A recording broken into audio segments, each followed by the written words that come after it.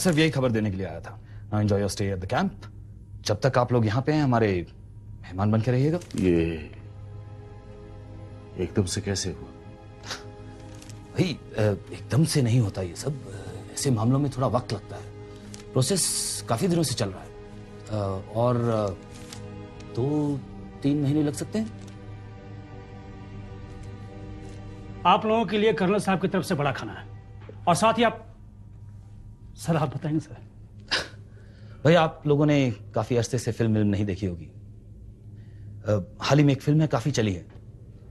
तो खुले मैदान में स्क्रीनिंग करते हैं? I I can't believe it you better believe it colonel हमारा मुल्क इतना खराब नहीं जितना कि आप सोचते हैं। Good luck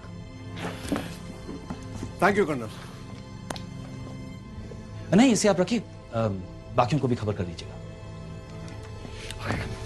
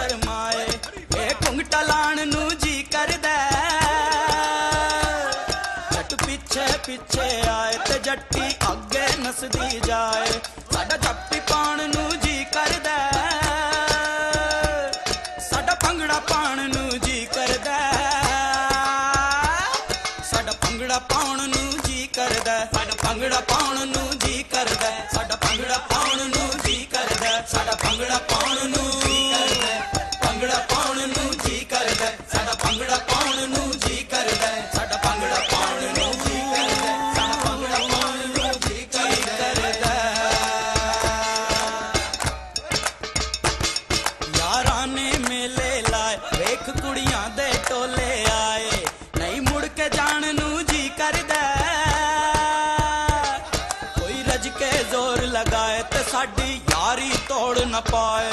ਇਹ ਗੀਤ ਗਾਣ ਨੂੰ ਜੀ ਕਰਦਾ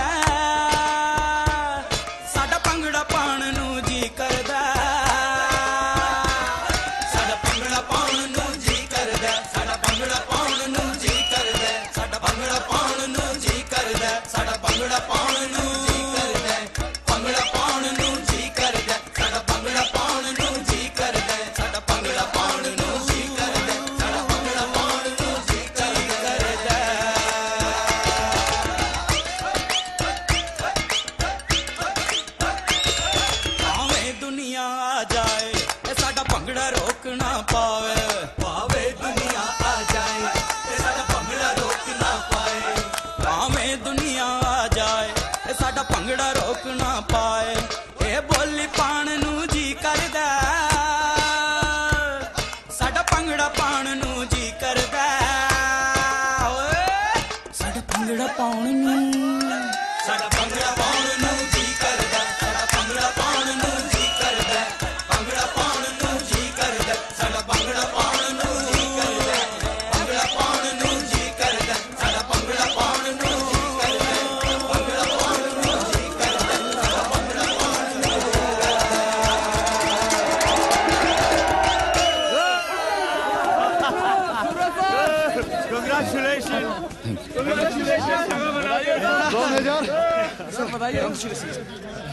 तुम्हारा हीरो बनने का सपना अधूरा रह गया।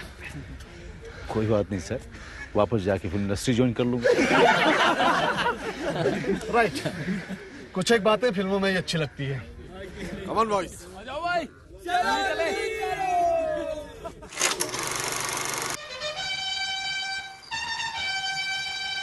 मैं अमृतसर नहीं जाना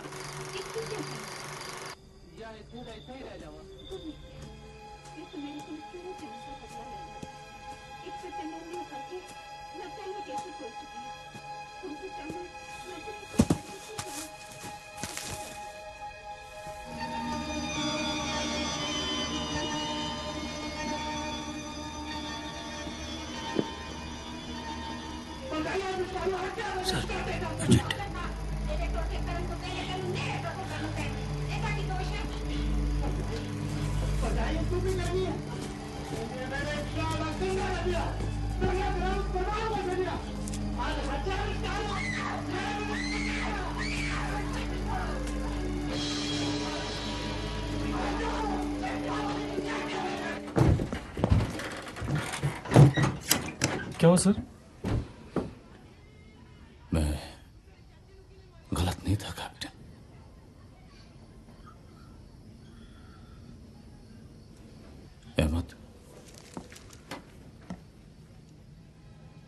जैसा कि कहा जा रहा है कि इकहत्तर की लड़ाई के पकड़े गए हिंदुस्तानी फौजियों के कुंबों ने इंटरनेशनल रेड क्रॉस सोसाइटी से दरख्वास्त की है कि वो उनका पता लगाने में उनकी मदद करें उनका दावा है कि पाकिस्तान की अलग अलग जेलों में रह रहे इन फौजियों की हालत बहुत खराब है इनकी जल्द से जल्द खबर ली जाए और इनको वापस हिंदुस्तान लौटाने के लिए कदम उठाए जाएँ।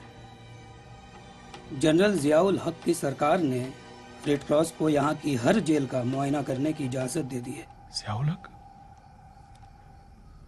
भुट्टो का क्या हुआ? पाकिस्तान में सरकार बदल चुकी है कैप्टन। मिलिट्री रूल आ चुका है। जनरल जियाउल हक की सरकार ने रेड क्रॉस को यहाँ की हर जेल का मुआयना करने की इजाज़त दे दी है और खुले तौर पर कहा है कि शिमला समझौता के तहत इकहत्तर की लड़ाई के सारे हिंदुस्तानी फौजी लौटाए जा चुके हैं। और इस वक्त पाकिस्तान के किसी भी जेल में हिंदुस्तान का कोई भी फौजी मौजूद नहीं है। इस तरह के बेबुनियाद और गैर जिम्मेदाराना इल्ज़ाम लगाने के पहले हिंदुस्तान को पाँच बार सोचना चाहिए। इसका मतलब सर? मतलब ये कि रेड क्रॉस पाकिस्तान में इस वक्त मौजूद है। और इन्हें डर है कि वो लोग यहाँ ना आ जाए। बॉर्डर पर टेंशन बढ़ी है और हम बॉर्डर के बहुत ही नज़दीक हैं। भागने का अटेम्प्ट एक बार हमारी तरफ़ से हो चुका है। और ये लोग तसल्ली करना चाहते हैं कि जब तक हम यहाँ पर हैं दूसरा ना हो।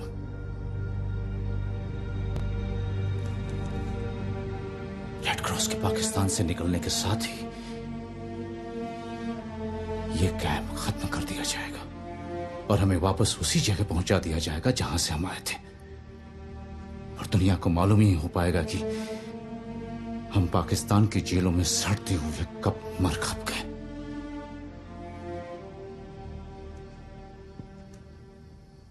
मगर ऐसा हो नहीं सकता।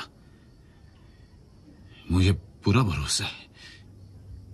ये लोग हमारा ख्याल रख रहे हैं। और इतना बड़ा झूठ नहीं बोल सकते मेरे ख्याल से इनकी ईमानदारी पे शक करना बहुत बड़ा पाप होगा सर मुझे पूरा यकीन है कि ये लोग अपनी कही हुई बात को अमल में लाएँगे और हमें वापस हिंदुस्तान पहुँचा दिया जाएगा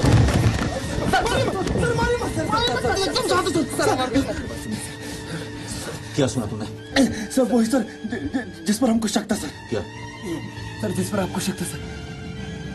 मतलब? मतलब सर सर वो तो हम रास्ते में सोच चुके थे सर। वो तो जिसमें जान ही बाकी नहीं थी वरना वरना यहाँ पहुँचने के पहले सर हम भागने के बारे में सोच चुके थे सर। ये सर ये सर। और सर यहाँ से निकलने के बाद आपको सबसे पहले जिस चीज़ की ज़रूरत पड़ेगी वो ये है सर।